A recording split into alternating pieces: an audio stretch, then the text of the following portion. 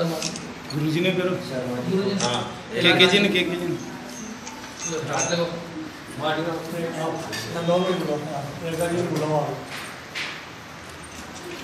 सभी कार्यकर्ता अपने हाँ। हाँ बात माने करेगी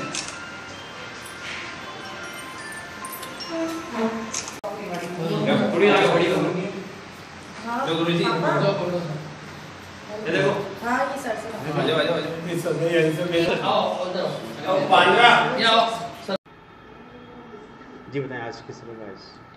एस्ट्रोलॉजी हाउस अजमेर के तत्वाधान में और हमारी दो संस्थाओं के माध्यम से ज्योतिष का ये अखिल भारतीय ज्योतिष महासम्मेलन हुआ दो दिवसीय। उसके समापन और सभी का आभार प्रकट करने के लिए आज होली का जो उत्सव है हम सब उनके साथ होली के रंग खेलें, ऐसी कामनाओं के साथ, हमारे साथ जिन्होंने तन, मन, धन से जिन्होंने सहयोग दिया, उन सभी का हम आभार प्रकट करते हैं। और ये अजमेर में सबसे बड़ा महाकुंभ का ज्योतिषियों का सम्मेलन हुआ। इसमें दूर देश के, देश और विदेशों से यहाँ ज्योतिषी आए और उन्होंने अपने ज्ञानवर्धक यहाँ बताए और उनसे हमारे को ज्ञान और ज्योतिष का आ, आगाज़ मिला है और हम सब ये चाहते हैं कि ज्योतिष का भंडार आगे चलता रहे। भारतीय सभ्यता भारतीय संस्कृति भारतीय शिष्टाचार ये चलता रहे और ज्योतिष का ज्ञान सबको मिलता रहे। ऐसी कामना के साथ आभार प्रकट करने के लिए हमने आज सबने मिल कर के आज ये आयोजन किया है। ऐसे आयोजन आगे भी होते रहेंगे? ऐसी आशा करते हैं ईश्वर से परमात्मा से कि एस्ट्रोलॉजी हाउस के माध्यम से आगे भी ऐसे कार्यक्रम चलते रहेंगे। ये सातवां सप्तम आयोजन था। इससे पहले छः आयोजन हो चुके हैं, लेकिन ये बृहद स्तर पर ये सातवां किया गया है और आगे भी निरंतर ये चलते रहेंगे और सभी के लिए ज्योतिष का आगाज़ मिलता रहेगा।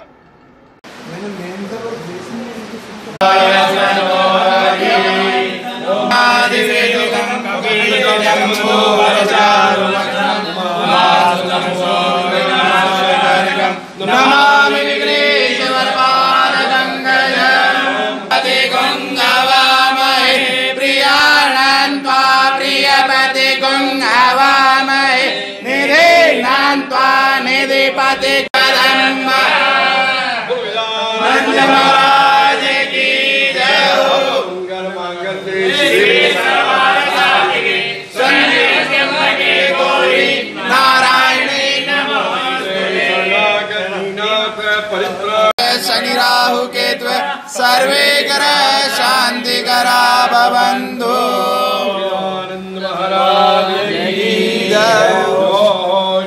निरन्तरिक्षगुं शान्ति पृथ्वी शान्ति अब शान्ति शान्ति वनस्पतय शान्ति नमो नमः।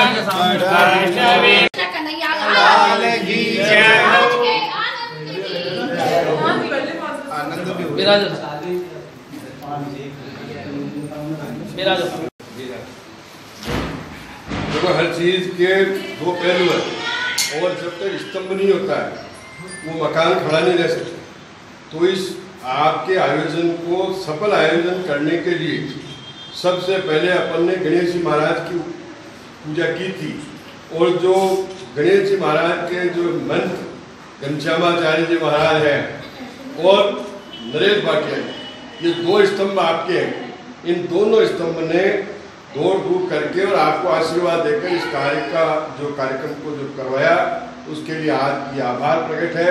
और जिन जिन ने एस्ट्रोलॉजी हाउस के और जो अपनी और दो संस्थाएँ थी, उनके सभी समस्त सदस्यों ने अपने को तन, मन और धन से सभी ने जो सहयोग दिया, उन सभी का आज आभार हम प्रकट करें। और इनका, इनकी शुभकामनाओं से, इनके प्रयास से ये अपना कार्यक्रम सफल हुआ। आज बुधवार भी है और ऐसा कहते हैं कि गणेश जी का आशीर्वाद पहले अपन ने लिया, आज समापन का आशीर्वाद भी गणेश जी के साथ हुआ और तो एस्ट्रोलॉजी हाउस के सभी सदस्यों को और कर्मठ कार्यकर्ताओं को शत शत नमन करता हूँ, प्रणाम करता हूँ।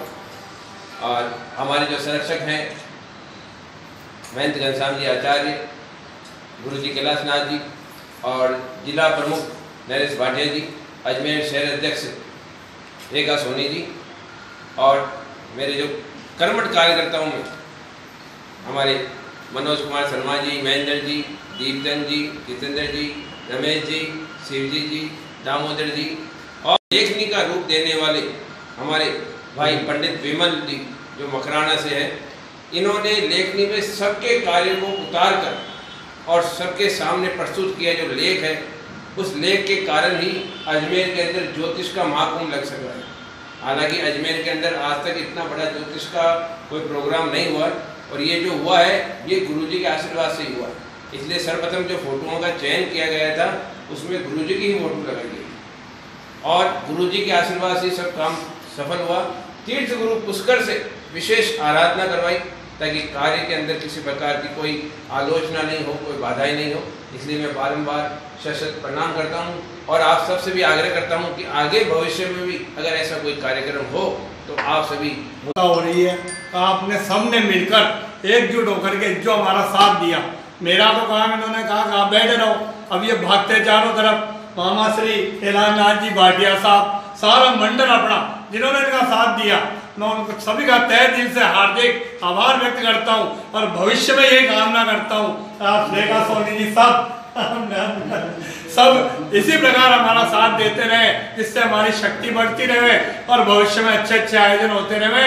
आज अजमेर शहर में अपनी प्राचीन संस्कृति को बचाने का धरोहर का जो काम किया है, अपने श्री प्राचीन गणेश जी के मंदिर से प्रारंभ हुआ है। उसके अंदर श्री श्रीराज जी महाराज। इन्होंने प्रकट निश्चय कर लिया था साल भर पहले मुझे बोला अपने गुरु जी, ये काम करवावे। मैंने कहा, अति शीघ्र करवाओ। जब से ये लगे हुए हैं और आप सब लोगों का लिंक जोड़ने में और आप सब लोगों का सहयोग जो रहा है, उसके लिए बहुत बहुत धन्यवाद। भगवान गणेश जी महाराज, आप सभी की विशेष उन्नति करें, आप सभी को धनदान्य से परिपूर्ण करते हुए। मेरे गुरु कैलाशनाथ जी, मेरे मार्गदर्शक ऋषिराज जी और एस्ट्रोलॉजी हाउस के परिवार के सदस्य की थी? भविष्यवाणी तो गणेश जी के मंदिर से हो गई थी, लेकिन ये एक प्रोग्राम बना था कि हम सब मिलकर अजमेर